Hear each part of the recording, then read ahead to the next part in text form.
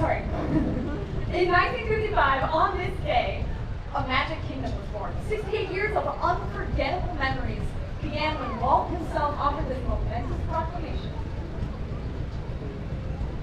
To all who come to this happy place, welcome. Disneyland is your land. Here age relives fond memories of the past. And here youth may savor the challenge and promise of the future. Disneyland is dedicated to the ideals, the dreams, and the hard facts that have created America, with the hope that it will be a source of joy and inspiration to all the world. Today is the day to celebrate. Please join us in singing Happy Birthday to Disneyland.